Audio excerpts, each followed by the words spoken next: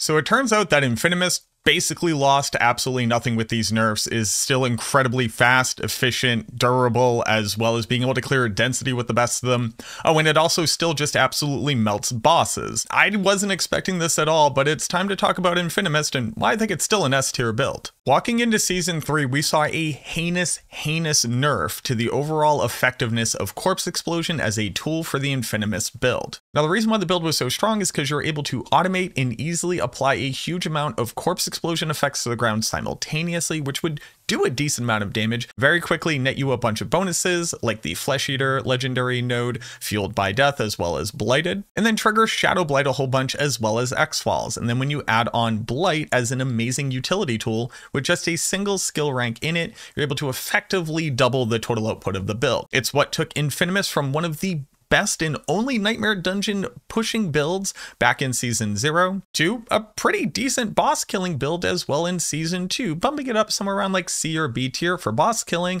but S tier because of its ridiculous speed and damage output in every other type of content. But this change to the lucky hit chance of the skill, as well as vaguely nerfing the damage output from Blighted, had a lot of people, myself included, a little bit dire about the outcome of Infinimist as a viable build. Well, go ahead and just throw all those concerns away. This thing is shredding content. It is just as insanely tanky as it always has been. You are procking X'Fal's at an incredible rate, because it turns out you just toss on a little bit more crit chance, a little bit more damage, your Seneschal is going to help you out, and then you basically pilot the build as you always did. Now, the one thing that I was afraid about, though, was its ability to be able to zerg down boss bosses. So let's just go ahead and look at Echo of Lilith as like one of the only things with a good enough health pool to get an idea of how quickly you're able to output damage. And while we are not matching the ridiculous speed of Blight, what we do have on the build is enough mobility, utility, and freedom of aspects to actually be able to survive the second phase of this fight too, where now that you can't just zerg through all of our phases, you actually have to survive these fireballs. On top of the barrier that you generate, you can actually tank more than one of them, and then Ghostwalker along with Blood Mist and Blood Soaked actually gets you the mobility that you need to just straight up outrun the things. Now, just like always, I'll be updating the Maxroll build guide with my findings in just a couple of days, probably over this weekend where I have a lot of work slated to update all my various guides. And then on top of that, I will have a build planner down below so you can just take a look at this bad thing. And it turns out we haven't really had to change anything about the character at all, and you might be very happy to notice we're literally using two unique items Ring of Sacrilegious Soul as well as X'Fal's Ring, the kit and caboodle that's pretty typical for this thing. No Uber uniques. None of them would even be good. No other uniques. You just don't need them. And where I thought that we were going to have to overcompensate with a huge amount of lucky hit chance, generally reducing the mobility and the utility that the different aspects could bring to your build, that's just unnecessary. The thing's cracked out of its gourd.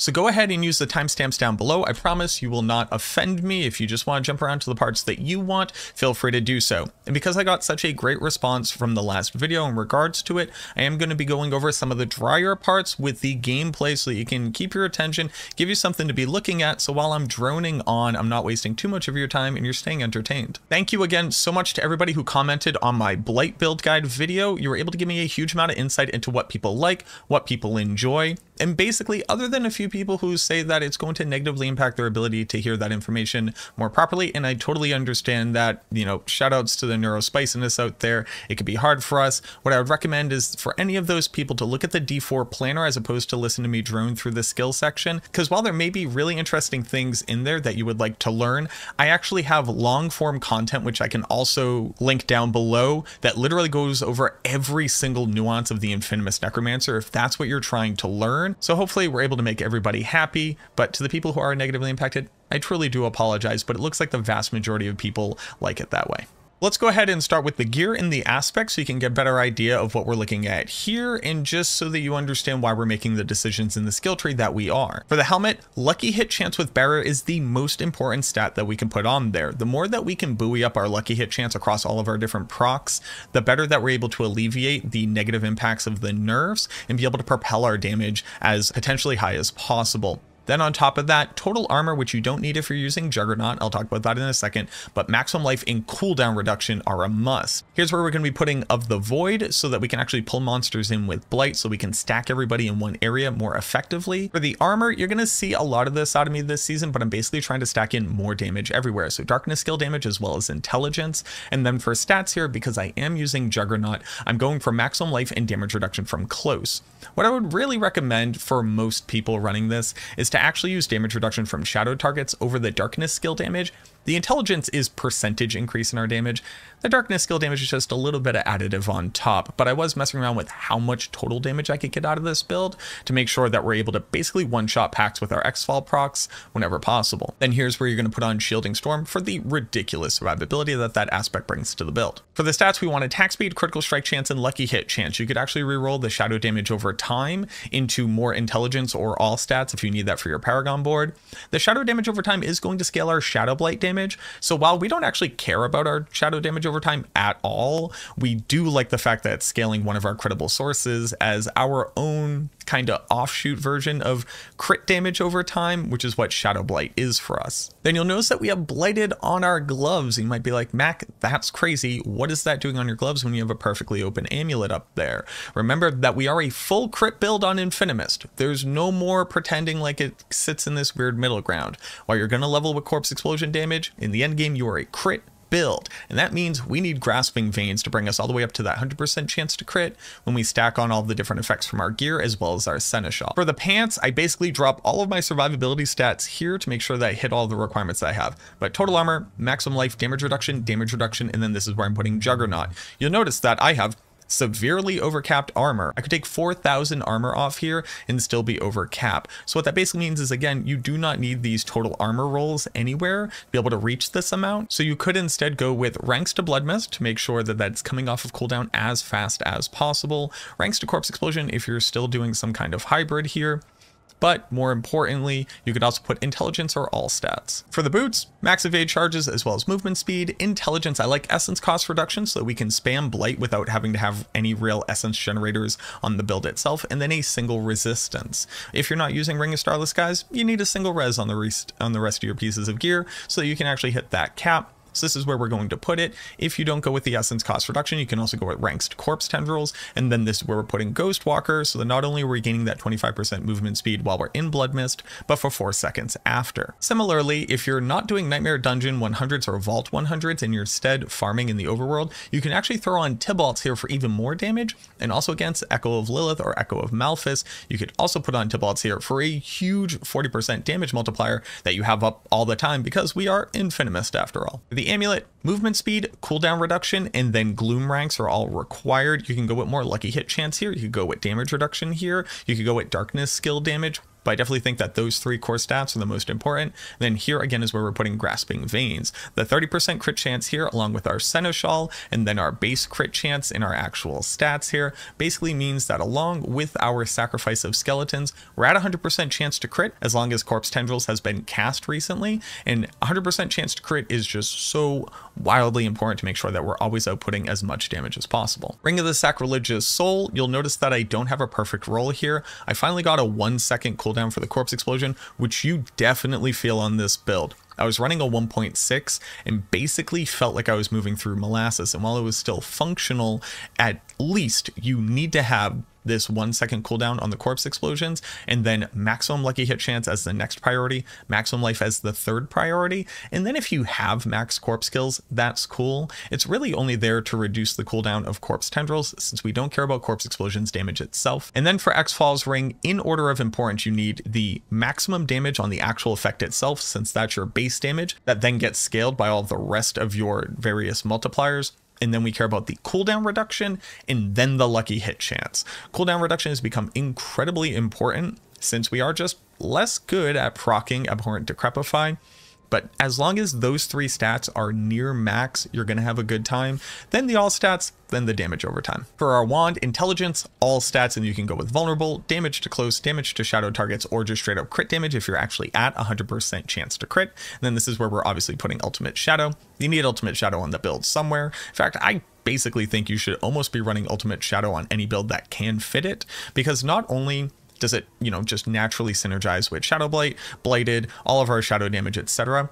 But the damage over time effect that it applies to a target counts as Shielding Storm, Bone Storm hitting an enemy. So you're like nearly quadrupling your barrier generation by having this aspect on your build. Don't sleep on using this on things that don't really care about darkness damage. And then for the offhand, you can be using a lidless wall. What that basically means is that you have to drop blood soaked. And blood soaked is how we're able to proc X'Fal's a huge amount of additional times get stacking shadow damage up, and then turn this build into the ridiculously fast moving build that you were seeing in the gameplay. Please, please, please do not ignore blood soaked aspect here but we're obviously going for a focus for that cooldown reduction. And then for stats, we want lucky hit chance, lucky hit chance with barrier, cooldown reduction. And then while I have essence cost reduction here, I would actually like critical strike chance because if I had that, I could swap over one of our Book of the Dead since I would still be reaching basically 100% chance to crit. But essence cost reduction is always a great option, again, for being able to minimize how often we need to cast Corpse Explosion itself to get our resources back up from spamming Blight. All right, now let's go ahead and talk about the skill tree. And again, please enjoy the gameplay here, but I'll try to go quickly just so people who are looking for more information will get what they need and we can move on to the rest of the build. We don't use any of our basic skills, so don't worry about getting a third point in here. We're only using Blight to be able to trigger its ability to add on a 15% damage multiplier. We don't care about scaling its damage at all. And then obviously three points into Hewed Flesh since that's basically the engine of our build. You'll notice that I'm maxing out Blood Mist. I don't necessarily believe that you actually have to do this in the end game, but you have the extra points to toss around, and there's not really a better place to put them. You could put them into Corpse Explosion, just be able to ramp up its damage a little bit. And I don't think that that would necessarily be wrong, but it's not a priority of ours. Three points into Grim Harvest is incredibly important, so that the Ring of Sacrilegious Soul is basically handling all of our essence generation that we need to be able to spam Blight. Then obviously Fueled by Death to be able to get that additional damage boost, and then again, only one point into Corpse Explosion, along with Blight corpse explosion for the other part of our engine. You notice I'm still putting the cheeky point into spiked armor. Yes, thorns from spiked armor will allow you to trigger abhorrent decrepify when you're using bone storm and running through monsters. So it's basically just a free way of getting additional procs, and I definitely think it's worth the single point in the skill tree, even if all it ever does is shave a few seconds off of some of your skills every run. Abhorrent Decrepify to be able to do everything that this skill does, along with Amplified Damage as a huge multiplier, and then Death's Embrace as a great damage reduction tool, as well as a little bit of a damage boost. Just one point into Corpse Tendrils, the additional ranks either on your boots and most definitely from Sacrilegious Soul basically brings the cooldown of this all the way down to a point where you never really need to manually cast cast it unless it's a single target. So we don't care about maxing this out. then obviously the ability to apply vulnerable with it. Here in the shadow passives, we do want to max out Reaper's Pursuit since we want to be super speedy while we're doing stuff, maxing out everything else. And then I do have two points into Crippling Darkness. Most notably for bosses, it is just an additional tool for you to be able to apply stagger. I don't think that that's absolutely useless. We're trying to automate as much of this build as possible, so being able to apply crowd control without necessarily having to do anything extra on our part obviously goes a pretty decent long way. And then pretty standard, maxing out standalone, maxing out Memento Mori, and then Bone Storm down here into Shadow Blight. And then obviously the sacrifices in the Book of the Dead are going to look a little bit interesting here, and it does depend on your actual gear, but I do currently need the critical strike chance to be able to reach 100%. If you get there with stats on your offhand, or if you just have an insane amount of dex for some reason, you would absolutely be sacrificing Reapers for that 15% damage multiplier, but just keep this in mind. The footage that you were just watching is missing an entire 15% damage increase that it could get if my stats were a little bit more optimal. Obviously sacrificing Cold Mages for the 15% vulnerability boost, and then Iron Golem for the 30% critical strike damage boost. The Paragon board that you see right here is what I currently put together first respecking into this build. There's almost certainly going to be optimizations that can be had, and the planner itself will be perfect.